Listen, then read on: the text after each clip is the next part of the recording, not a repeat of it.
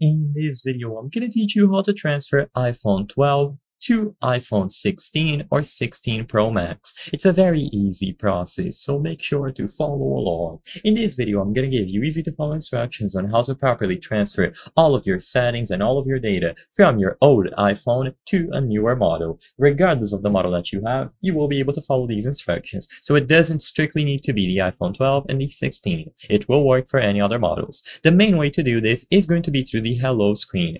The hello screen appears when you first boot up any new iPhone. So if you have already gone through the setup process on the new iPhone and you don't see the hello screen anymore, what you have to do is access the settings, choose the transfer or reset iPhone category all the way down at the bottom, and then erase all of the content and settings on the new iPhone. So once you erase everything and you boot it up again, then you will see the hello screen and you will be able to use the quick start function. So first you have to do quick start, to set up the new device based on your old one and then use something like iCloud to restore the data. So to start, all that you have to do is put both iPhones in close proximity of each other.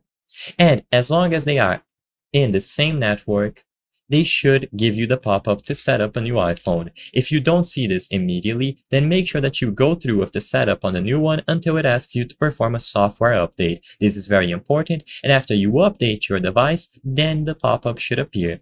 Now, as you might imagine, you just have to tap the option to continue, and automatically they will communicate between each other and set themselves up for you. It's easy to do, intuitive, and it is going to be an option right away.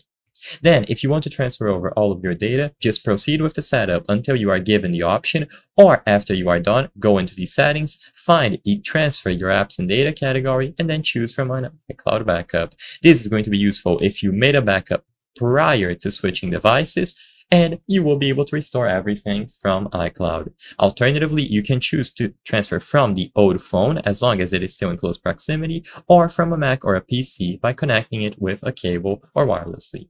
I hope I was able to help you on how to transfer iPhone 12 to iPhone 16 or 16 Pro Max. If this video helped you, please be sure to leave a like and subscribe for more very easy tips. Thank you for watching.